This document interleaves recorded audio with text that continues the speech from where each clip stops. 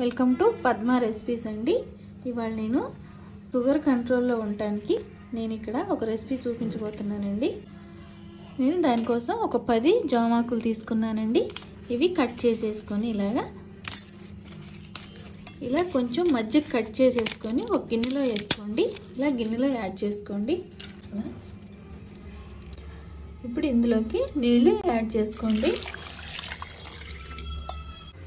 ఇప్పుడు స్టవ్ వెలిగించి ఈ గిన్నె పెట్టుకొని ఇవి ఒక ఉడుకు రావాలండి. చూసారు కదండి? ఇలా ఉడికింది కదా. ఇప్పుడు స్టవ్ ఆఫ్ చేసి పక్కన పెట్టుకోండి. చూసారు కదండి?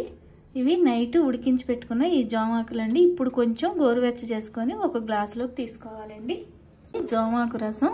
ఇది షుగర్ పేషెంట్స్కి చాలా బాగా పనిచేస్తుందండి. ఇది ఎవరైనా తాగొచ్చండి. ఎవరికైనా హెల్త్కు మంచిదండి ఇది. చాలా బాగా పనిచేస్తుంది. ఈ రెసిపీ మీకు నచ్చితే లైక్ చేయండి షేర్ చేయండి సబ్స్క్రైబ్ చేసుకోండి.